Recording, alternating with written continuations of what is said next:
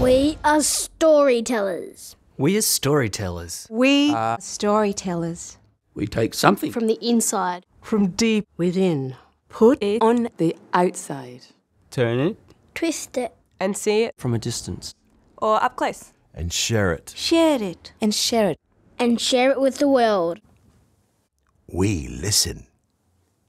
We're curious. We create. We collaborate. And we educate. Information. And Cultural. Exchange. Information. And Cultural Ex- exchange. Ice. ice.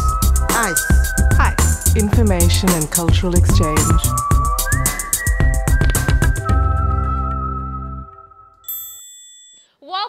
To Chatterbox. Vuli, are you ready? I certainly am. Okay, this is one of the most quoted human beings on the planet right now. He's written more than 100 books. And he won last year's Sydney Peace Prize. And he was invited to visit Cabramatta High. He's a professor, a linguist, a philosopher, an author. An historian, a cognitive scientist, a peace activist. And his name is Noam Noam Chomsky. Chomsky.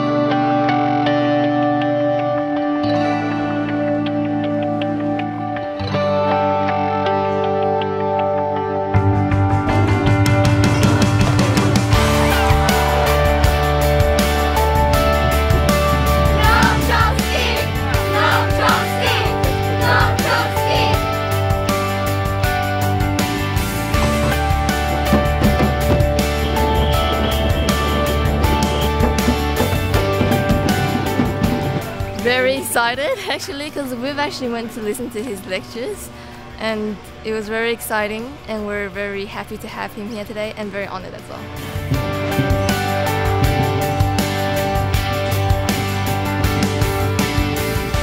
We didn't realise the potential of the huge diversity of the children in not only in this school but in this region, that, uh, and how much it adds to the colour and the strength and the vitality and the interest of, of a country like Australia. This is where the chemistry uh, is occurring. At this point, we would like to introduce to you Professor Noam Chomsky, the recipient of the Sydney Peace Prize Award. Please welcome him to the stage.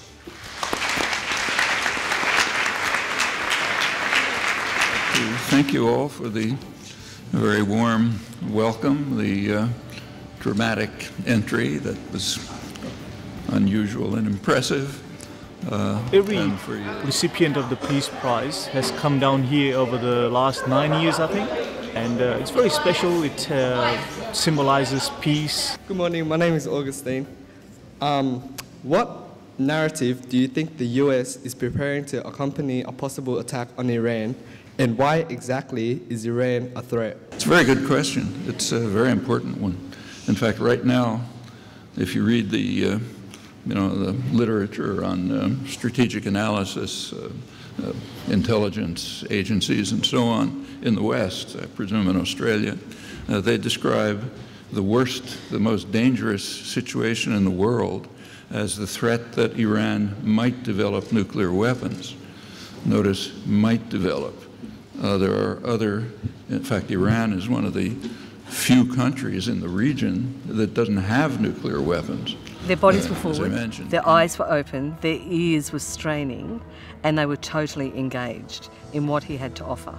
And he was so generous answering their questions.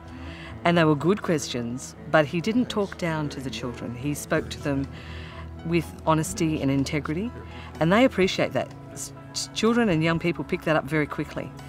And so what he had to offer them was beyond what they'll ever get in a textbook, what they'll ever get from any, you know, news report. It goes so much deeper. What does it feel like to, to be the recipient of the Sydney Peace Prize? Well, it's a great honor, obviously. I'd like to be able to live up to the accolades, which are far beyond anything deserved. I'm glad to join the company of people who've received it before, people I very much respect, some of them good personal friends for many years, and uh, uh, the whole environment is very uh, exciting and stimulating and inspiring, so it feels good. in fact, today was the peak of it in many ways. I wish it was not just me, but the legacy of my generation. I mean, I wish it was a more positive one. It's not.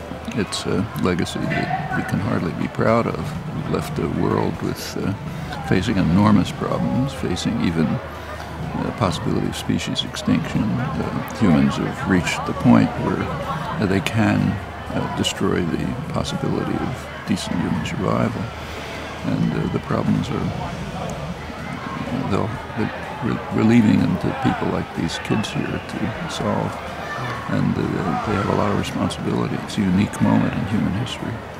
One, two, three.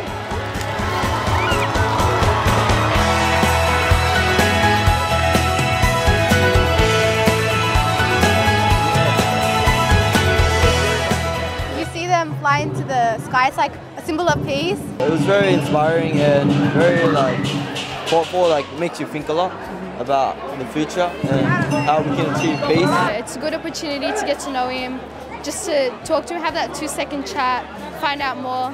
It inspires us to push towards peace as well more. Like the way we're living is very hard and controversy and like you see in the Middle East there's still war in northern Eastern Africa, still war going on, still war in the street, still people screaming for peace. You must see us smiling from the outside, but inside we're bleeding, you know. I mean, he, he, he gave them he gave them a lot to think about. You couldn't you, you could hear a pin drop in the assembly hall when he was speaking. And this is one of the greatest intellectuals in the world, and he's in, he's in the heart of Cabramatta. So today, I think, was almost about legacy building for not only the Cabramatta area, but um, for young people. Today, we saw a room full of future leaders or potential future leaders. Uh, there are many things out there that young people like me don't really, uh, can't really comprehend. So to, to have Professor Chomsky to sort of um, explain and extrapolate uh, all those issues is really inspiring. One day, one moment in time, one child, that's all we need to do. And he did it for 2,000 children. Peace